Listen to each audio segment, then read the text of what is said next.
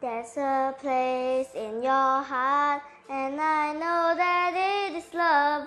And this place could be much brighter than tomorrow.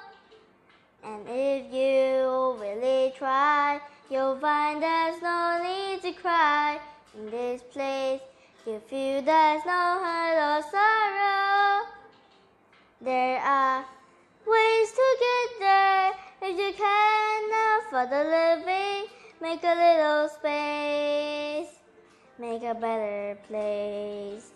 Heal the world, make it a better place for you and for me and the entire human race. There are people dying if you can afford the living. Make a better place for you and for me.